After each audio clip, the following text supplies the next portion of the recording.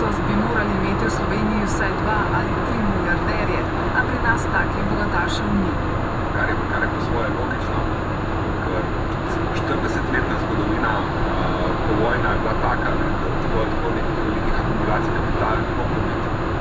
Uh, na to, ko pol naložiš 25 let relativno zelo enakih dohodkov, tako da prav velikih uh, razlik v premoženju ne more biti. Najbogatejšima Slovencema je do lani uspelo zbrati 850 milijonov evrov. Državno pravobranilstvo začasno do imenovanja novega generalnega državnega pravobranilca vodita namestnici Ana Marija Zajec Kovačič in Mateja Senih.